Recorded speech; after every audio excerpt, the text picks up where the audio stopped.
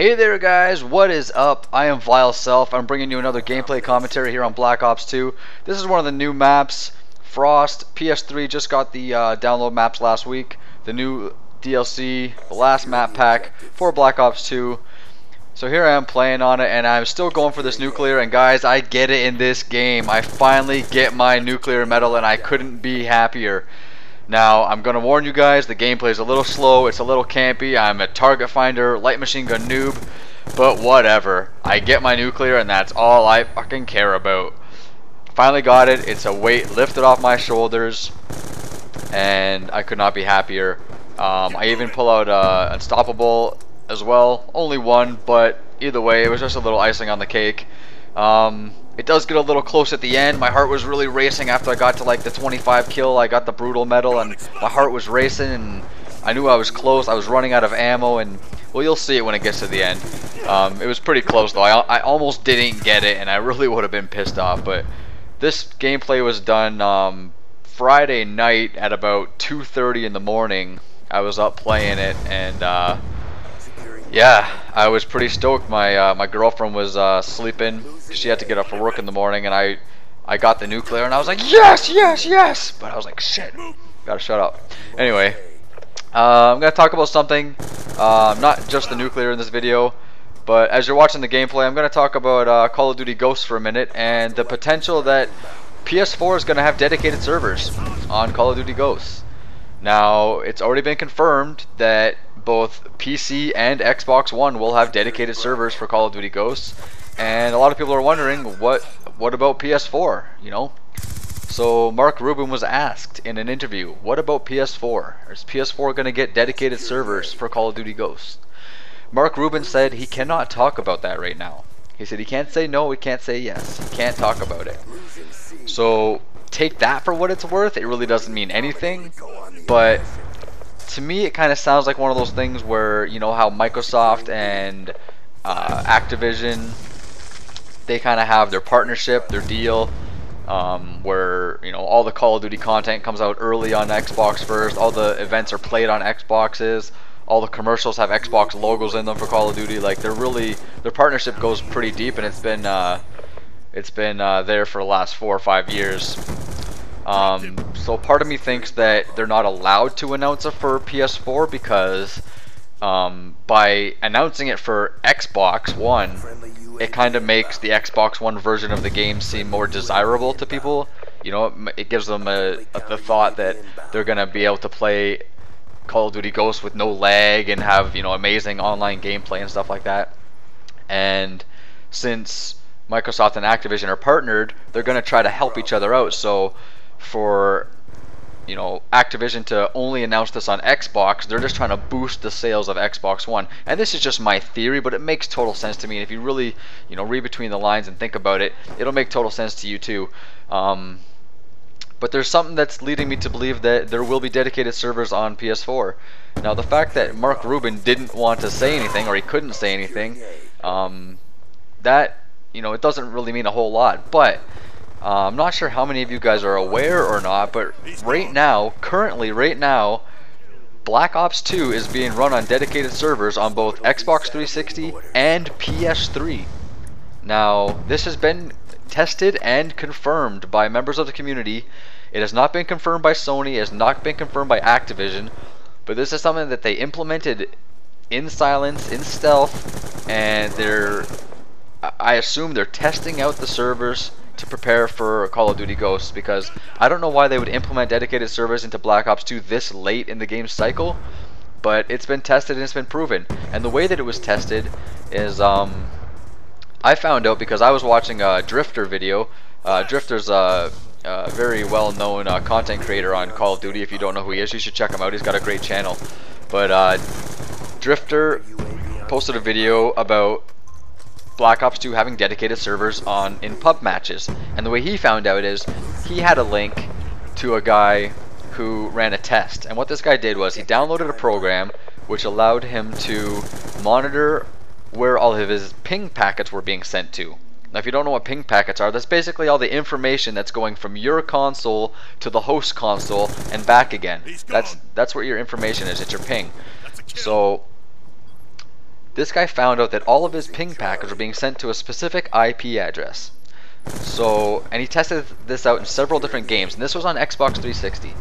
So he ended up searching uh, the location of this IP address and server um, New Jersey that was hosting these games. And he went to the website, and I don't remember the name of it right now, and I'm not gonna post the link because that's you know, too much work for me to go find that shit. But anyway, he found out it was a server farm in New Jersey, some game hosting farm. So people started going crazy, like, oh my god, it's on dedicated servers. Like this was the fact, this was the proof. So some other guys decided to test this theory out on the PlayStation 3. And lo and behold, it was confirmed that, sure enough, these games are being held on dedicated servers. So, there's one guy, um, I remembered his name a second ago, but I can't think of it right now. I should have wrote it down. Um, I'll try to get the name and write it in the description of the video. But anyway, he posted a video um, where he tests it out on PS3 and he confirms it that all the games, all of his ping packets are being sent to the same server farm in New Jersey and he tested this out for Black Ops 1 and for Modern Warfare 3 as well and both of those came back negative. He was just getting random um, peer-to-peer -peer hosts, random, you know, the, the game would just select a host, somebody to be the host back in. It was back to the server farm in New Jersey.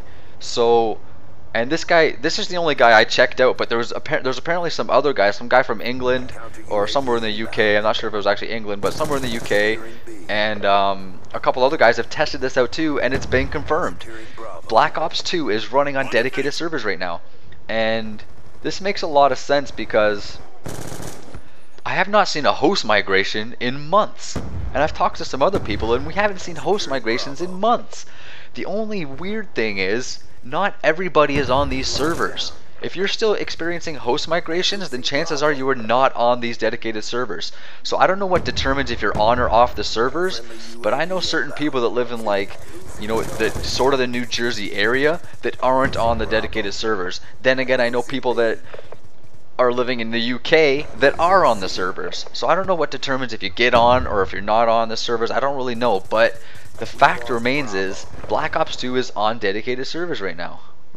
So, with that said, I have to assume, since it's been confirmed that dedicated servers will be on Xbox One and PC, and they're testing them out right now on PS3 as well as Xbox 360, then I gotta assume, based on those facts, that dedicated servers for Call of Duty Ghosts will also be on PS4. Now, also take into consideration how stupid it would be for Activision to release the game with dedicated servers on two platforms and not the other one. Now, even if you, like, I know this doesn't matter too much, but if you looked at the pre-order details for um, Call of Duty Ghosts, there's actually more pre-orders on the PS4 for Call of Duty Ghosts than there is for Xbox One. Okay? There's about 10,000 more the last time I checked, which I don't think the list has been updated recently. This is this, we're going back to like maybe late August, early September, but there was 10,000 more pre-orders for Call of Duty Ghosts on PS4 than there was for Xbox One. So for them to neglect the Sony audience like that and totally put them like down in last place, it doesn't make a lot of sense to me. It's not a really good business move by Activision to do that. Now the thing that's throwing a big pickle into all of this is where are Sony's servers? Are these Sony servers that are going to be hosting this or is it going to be Activision servers themselves? We don't know this because when it was announced that the um, servers will be on the Xbox One, they announced that it'll be powered by the Xbox One's cloud, which Sony does not have that type of cloud. Sony has a different type of cloud that will be implemented in 2014. So with that said, we don't know exactly how this is going to work because if Xbox One is powering the Xbox One cloud, then or sorry, the Xbox One dedicated servers, the cloud's powering it, then what's powering the PC dedicated server? What's going to power the PS4 dedicated server? And my guess is that Activision purchased this server farm in New Jersey and this server farm is going to act as the host for the PS4 and the PC um, Ghost community. That's just my theory, but to me it just makes total sense. And even though there's holes in my theory, I gotta I gotta hope that it's gonna be true. But I'll tell you one thing, guys. I'm playing on these dedicated servers and I have been for a while and there's not much big of a difference. The game still plays basically the same. There's still lag, there's still hit detection, there's still a whole bunch of those what the fuck bullshit type of moments. And here I am running out of ammo and my heart's just racing because I'm like, what, two or three away from the nuclear. And I pick up an SBU, which is probably one of the shittiest guns I could have picked up right now. I'm about to get fucking lucky right there. Get another VSAT in here, but anyway, going off track, but even still, um, there it is! Bam! There's my nuclear! I was so happy to get that, guys. That was such a relief. I was like, yeah! Um, so such a sweet, sweet thing. Bittersweet, bittersweet. But anyways, I'm going to wrap this up now. Let me know what you guys think about the servers and the dedicated servers and PS4 and all that stuff. If you guys have any information about this or if you have any theories at all, let me know. Leave them in the comments. Maybe make a video, do whatever you want. But let's just share some information about this and try to figure this out. And maybe we can weasel some information out of uh, out of uh, somebody from Infinity Ward or somebody if we tweet them enough or something. I don't know. But I really like to get to the bottom of this. So thanks a lot for watching, guys. I really appreciate it. Vile Self, out.